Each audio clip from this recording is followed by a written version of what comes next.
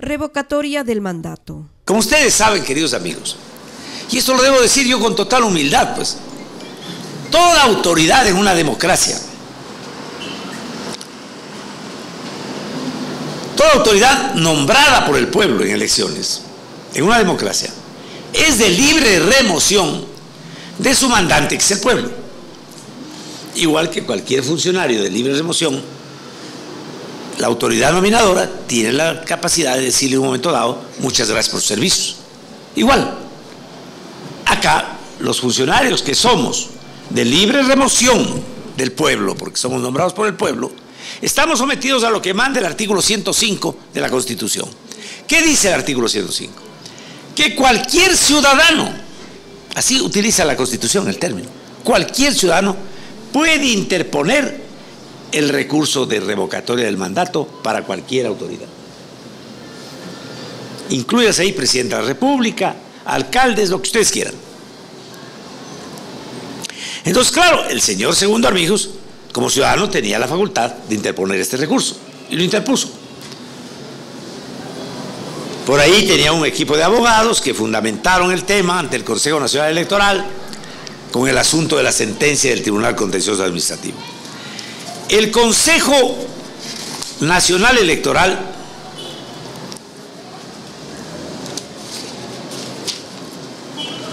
que recibió el 2017, en septiembre del 2017, este recurso,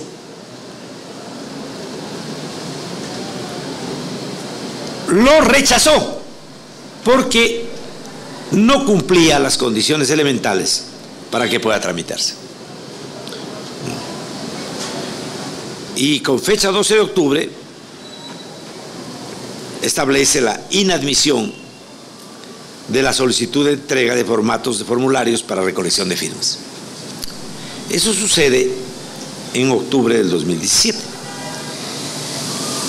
El señor Armijos, no sabemos si él o quienes hacen sus veces, presenta de pronto una apelación.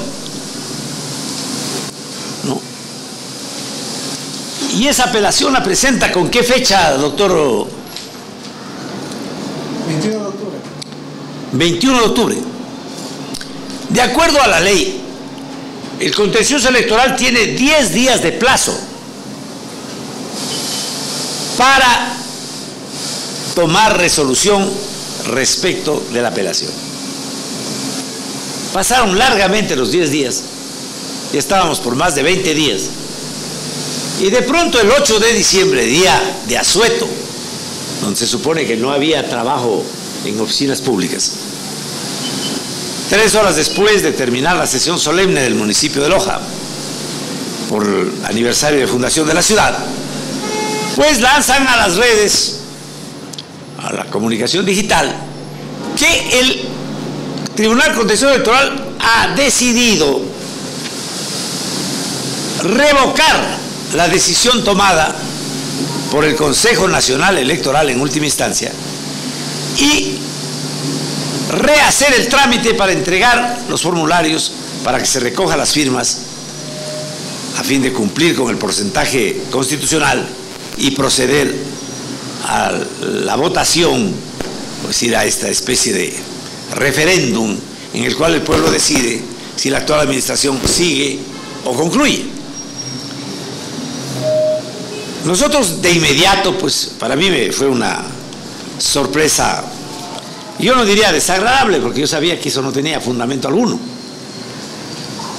Y efectivamente, el día lunes, a primera hora, presentamos un recurso que se denomina de aclaración y ampliación de la sentencia.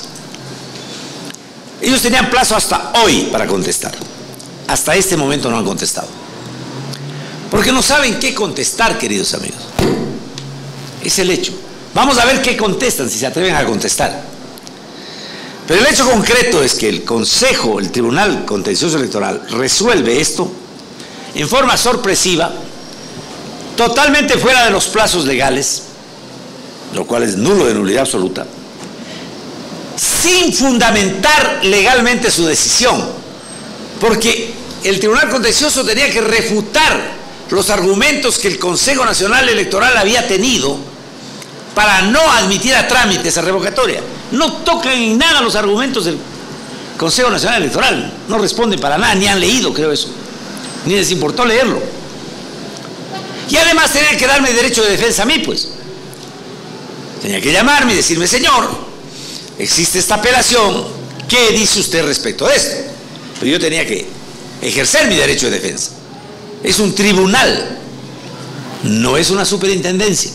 En una superintendencia las cosas son diferentes. En un tribunal donde se tramitan las cosas en derecho, no, dentro del marco jurídico, ninguna persona puede ser privada de su derecho de defensa. So pena de nulidad del procedimiento existente.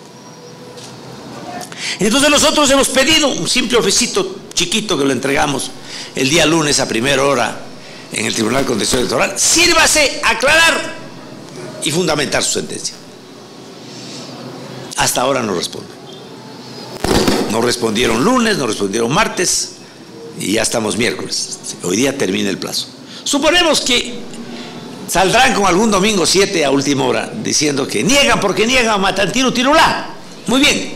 Si niegan porque niegan Matatiru Tirulá, entonces nosotros lo que vamos a hacer es acogernos a todos los recursos de defensa que tenemos franqueados en el Estado de Derecho en que vivimos. ¿O no vivimos en Estado de Derecho en el Ecuador? Sería la pregunta. Entonces vamos a plantear, obviamente, recurso de nulidad, vamos a apelar para que el Pleno del Tribunal Contencioso Electoral resuelva. Y si aún ahí se permitiesen ellos decir que no les da la gana Matantido Ticulá de revisar eso, pues iremos hasta las últimas instancias. No porque nos haga miedo, no tengamos miedo de cuál es el pronunciamiento del pueblo de Loja, ya lo sabemos. Ahí está, todos ustedes tienen acceso, señores periodistas, a los medios de comunicación regulares y a los medios de comunicación digitales. Y puede ver cuál ha sido la respuesta del pueblo de Loja. Yo anoche tuve que asistir a varias asambleas organizadas para respaldar. Llamadas de los alcaldes de varias ciudades del país, los alcaldes de nuestra provincia, de la región sur, de distintas organizaciones, que expresan pues su rechazo, algo que no tiene fundamento, porque el pueblo de Loja ha respaldado y respalda. Y agradezco la iniciativa que ha tomado la eh, coordinadora de, de barrios de organizar una nueva marcha para los primeros días de enero, de manera de demostrarle al pueblo del Ecuador cuál es el nivel de respaldo que el pueblo de Loja tiene. No a un hombre, yo soy una persona transitoria, limitada. Algunos se solazan cantándome las postrimerías todos los días. Como si las postrimerías de un ser humano estuviesen en manos de los humanos. Eso está en manos de Dios. Las postrimerías de un joven o de un viejo.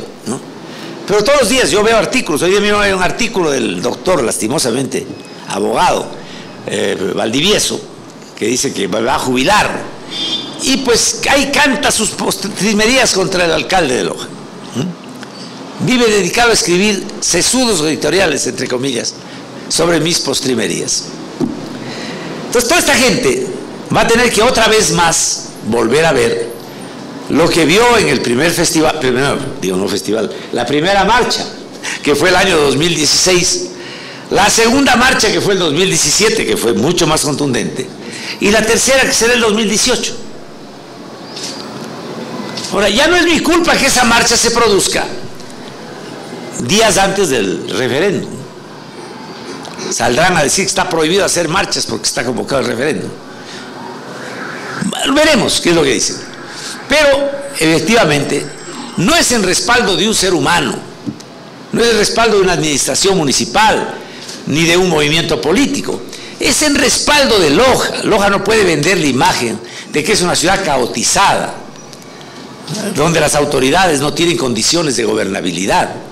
No, señor, la ciudad de Loja es una ciudad organizada, que sabe lo que quiere y que tiene unido a su pueblo tras los grandes objetivos del Plan Loja siglo XXI, que es la brújula con la cual estamos navegando y marchando a un puerto cierto que significa colocar la loja a la vanguardia de las ciudades intermedias, no solo del país, sino también a la vanguardia de los municipios pues, del país. Eso es lo que ven y lo que dice todo el mundo. Pero aquí hay un grupito de gente que se muere de amargura, que quiere negar todo eso y que arman bronca por todo eso. Vuelvo a repetirles, yo no tengo la culpa de que hayan iniciado la campaña electoral.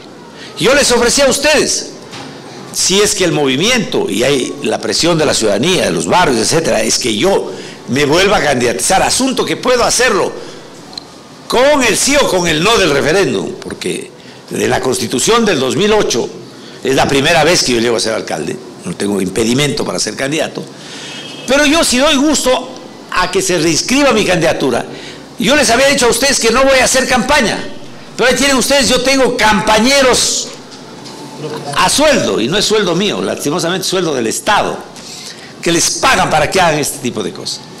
Y de determinados grupos económicos, que bien sabemos a qué se dedican en realidad, y por qué necesitan tener un municipio dócil que les permita hacer lo que les da la gana, en una ciudad que tiene derecho a crecer ordenadamente, respetando el derecho de todos y no solo de los más influyentes.